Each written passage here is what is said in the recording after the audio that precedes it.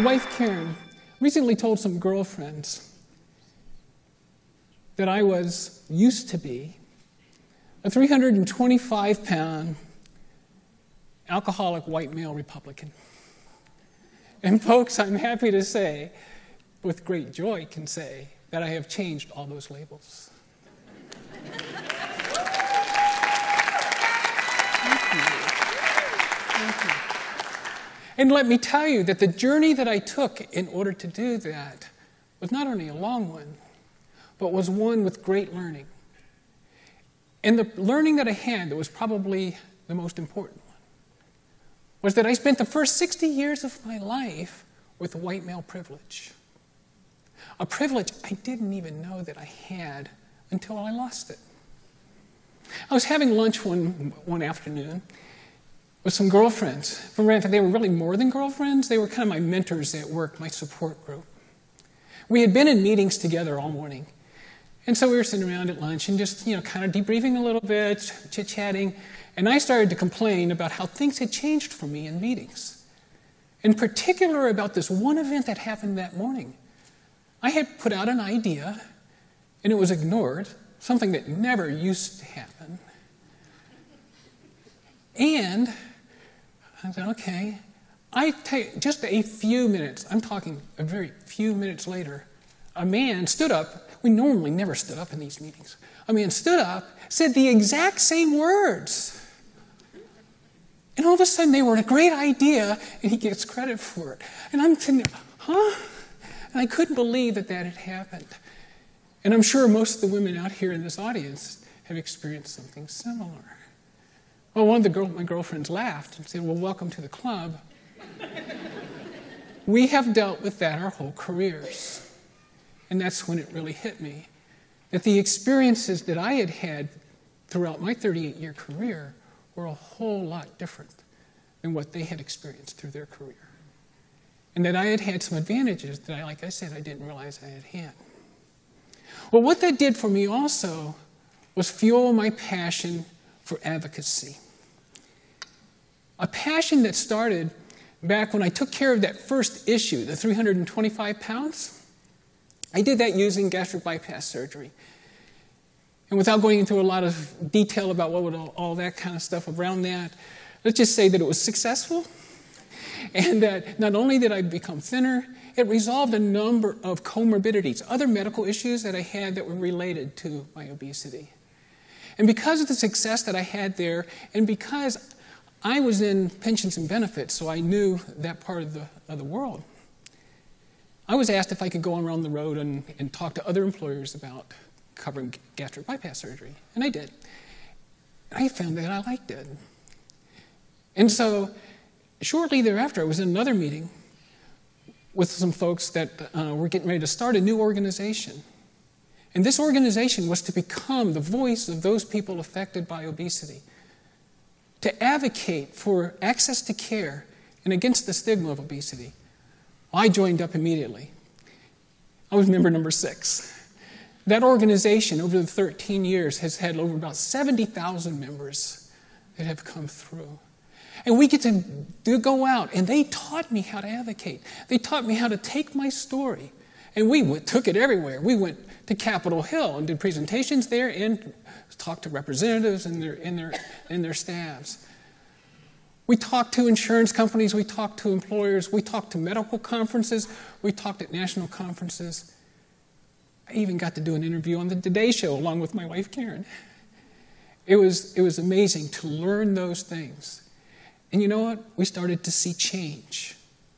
And that was the most important part. Now, changes in that part of the world that I was advocating for weren't the only changes that were occurring over this time frame. So, over about a 10 year period, starting in 2003 and heading on up to 2013, I started a process that I later deemed as micro transitioning. I began to realize that my gastric bypass surgery was not only something that I did for my health, my physical health, but it also was something that I was doing for my mental health. It was probably the first step that I took in my transition. Although at that point in time, I didn't realize that it was. I was too afraid to even let anybody in this world know that there was a part of me that I had kept hidden since I was four years old. The only other person that knew it was Karen. And we kept that our secret. But as you can see, as I moved through, I became more androgynous, definitely on the female side of androgyny. And finally, in around 2011, I became aware of another issue that I had that had occurred and that was having some issues with alcohol. That happens an awful lot in the transgender community, where people use drugs and alcohol and other addictive processes and substances to hide that pain, to hide that issue that you're doing. Well, I got that resolved. And guess what? It gave me something else to be passionate about. And so, and so I did.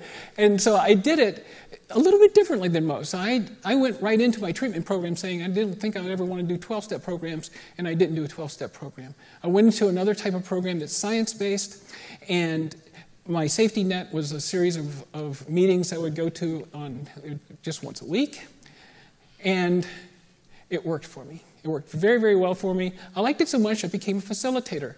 I now facilitate two recovery meetings each week.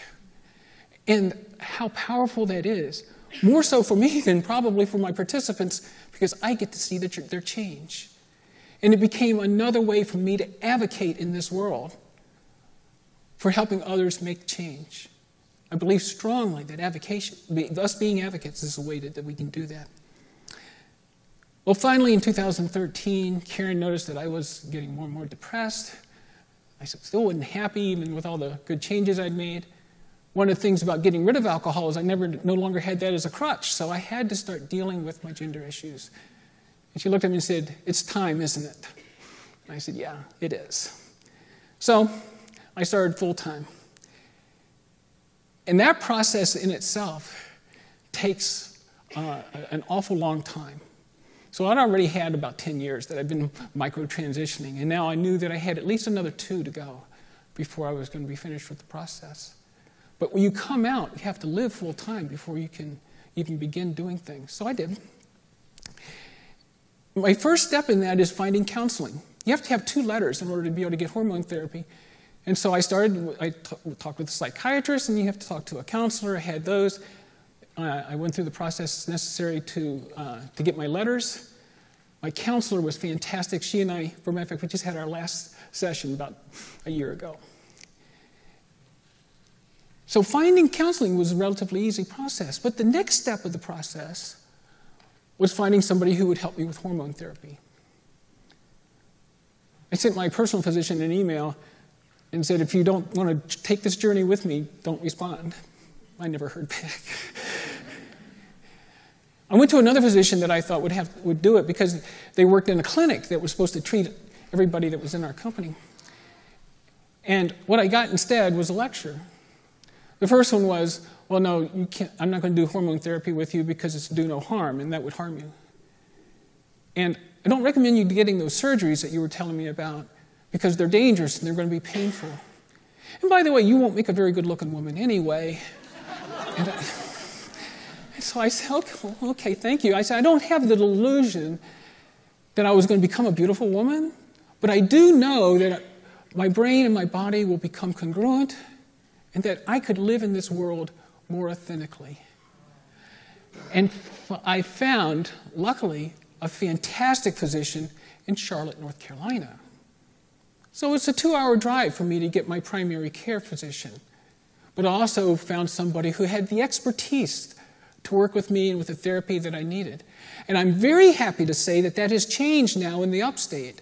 And that there, with both of our major hospital systems in, in Greenville and in, in Spartanburg, there are physicians that will work with our community. But back just four years ago, that wasn't the case. Now, this gave me another passion, another thing that I could get out and talk about. And it added to my story. So I was able to change my story, add to the story that I had been telling all along. And so now I get to talk with our medical schools. We have two medical schools here in the upstate, one tied to the Greenville Hospital System, the other one tied, tied to Spartanburg, which is a DO school. And I get to talk with both of them and, and, and, and let them know about our community and how they can serve the full LGBTQ community, not just the transgender part. I get to talk to four universities with their master's classes in clinical counseling so that they have the experience. I get to talk to high schools. I get to talk to a lot of places, and it's fantastic. And in each place, it allows us the opportunity, me and there's a few of us that do that work, the opportunity to educate. I think it was uh, Mandela that said that our biggest weapon for change is education. And so, if I can help in any way in doing that, that's my passion. And so, why I'm here today is to let you know and to remind you that each of you have a passion. You each have life experiences, hurdles that you had to get over, and that you did. You can have a story, you have a story that you can tell. And I want to encourage you to join organizations that are in line with your passions. Join organizations that can help you tell your story and that can give you access to the places that you need to go out and who need to hear that story. You know, back in, I was challenged and encouraged in 2008 when President Obama quoted Gandhi and said, Be the change. I thought, wow, cool. Be the change. That, that's what I want to be. That's what I want to do. Then recently, in some interviews with David Letterman, he said, You know, if you see something that needs to be changed in this world, then it is up to each one of us to step up and do what is necessary to make that change happen. Folks, join me, join other organizations, and be the change. Peace be with you all.